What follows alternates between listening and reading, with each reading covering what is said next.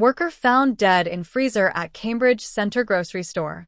Ontario's Ministry of Labour, Immigration, Training and Skills Development is investigating after a worker was found dead in a Cambridge grocery store.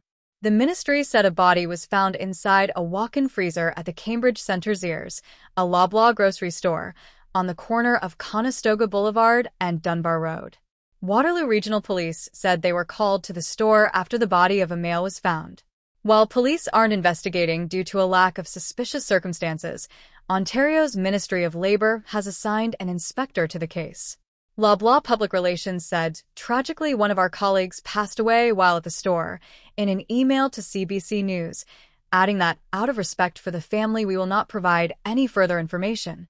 A post to the Zehrs location's Facebook page said that, due to unforeseen circumstances, our store will be closed for today, Tuesday. The ministry's investigation is still ongoing.